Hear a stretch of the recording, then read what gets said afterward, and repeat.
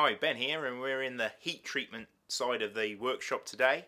And we thought it'd be another nice little intro to Work in Progress Wednesdays. So we've been working on, the last few days we've been making these new little design called the Thorn.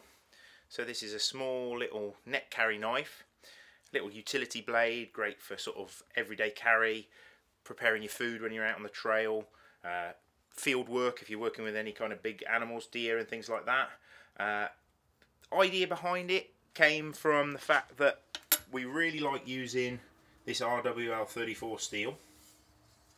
So RWL34 is a, a, powdered steel, it's a stainless steel and it's produced out in Sweden by a company called Damasteel. It's really really nice stuff to work but you can only get it in relatively narrow strips so this is a 50mm wide strip and 3.2mm uh, thick thickness and you can get it in like meter length. So it's it's expensive steel. So obviously you want to try and make the most of it. You don't want to waste any of it. So when we clamp on our standard design, so this is one of our 4 inch woodlanders that we clamp on there and drill all the holes and scribe the pattern, we're left with these little offcuts which will be perfect for getting our little thorns out. So what we've been doing is we've been laying our little drill pattern that we made onto the steel clamping it in place and then using the series of pillar drills that we've got to mark out the hole positions and then using a carbide scribe we can mark around it and we can mark our little thorns onto those little blade blanks. So we've been working on those for the last few weeks. Um, today what we'll be doing is we'll be continuing on these uh, these ones that we've rough drilled and obviously scribed the pattern so we need to actually continue drilling those and what we'll do is we'll make the handle itself with a series of three holes, different sizes. That will reduce weight. It will also give options to tie a thong tube or a lanyard onto the end of it or put a bit of string around it. So they're going to be a skeletonized style knife. So these are going to be a really nice lightweight little knife with a little Kydex sheath. So this one's already been heat treated. Uh, it's got the rough grinds on it. Uh, we've got to now blast it. We've got to mark our logo on it We've then got to go through a acid wash process and then stone wash it and then it'll be ready to have its sheath made and things like that. So there's different different stages at the moment. Obviously we've got some that are still in their raw steel form so this is still in its annealed stage and then later on today when we've got those rough profiled we'll then get them run them through a, a, a an annealing process so a stress relieving cycle in the in the kiln and then they will get put into stainless steel pouches before being hardened. And then after hardening they go into an overnight cryo quench. So we've got some from last night. So over in the dewar these have been sat literally overnight. We've got them in our dewar that we had filled up yesterday. So this is full of liquid nitrogen. So we'll get a couple of these out. Now I suspend these in the cryo on some stainless steel wires so obviously you want to be able to get them out of the container without losing them in the bottom of it. So the stainless steel wire works really well.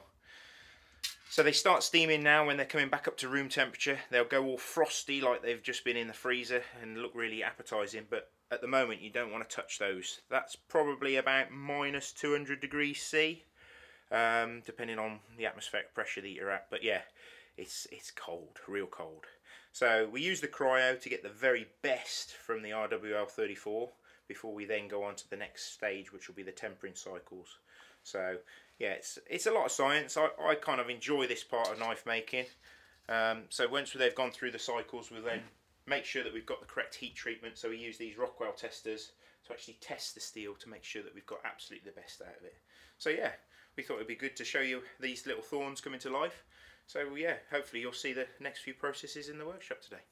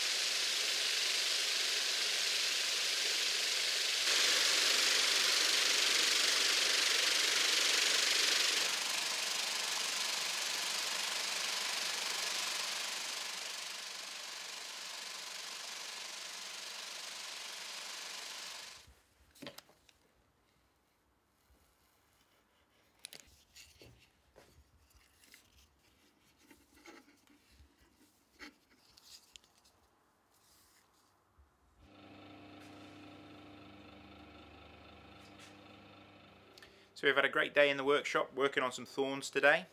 We've still got some in the tempering oven. You can hear it running in the background. So there's still some getting heat treated.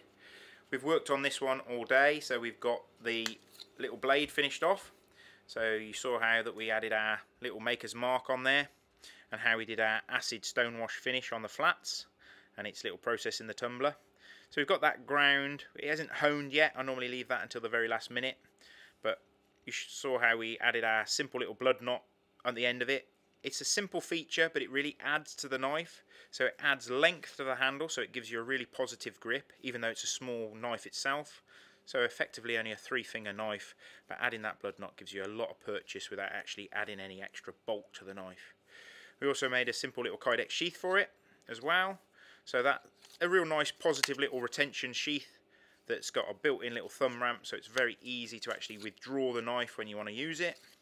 And each knife comes with a nice adjustable necktie so you can wear it around your neck so you've got a perfect little everyday lightweight carry knife that you can use for all manner of tasks from sharpening your pencil, cutting your apple for your lunch or even doing a bit of food uh, food prep out in the field with it as well. And being RWL34, you've got a fantastic all-weather knife. So if you're going canoeing or out in the uh, terrible British weather, the winter weather, and it gets soaking wringing wet, you haven't got to worry about any corrosion on there. So yeah, really excited about these little EDC little thorns. So we should have some of these available on our website in the next few weeks, so keep checking out the, the store to see when they come available. If you want any more information about them, please just drop us an email. But uh, yeah, hope you've enjoyed seeing how these little ones are born and uh, following us along on our Work in Progress Wednesdays. Thanks again for watching.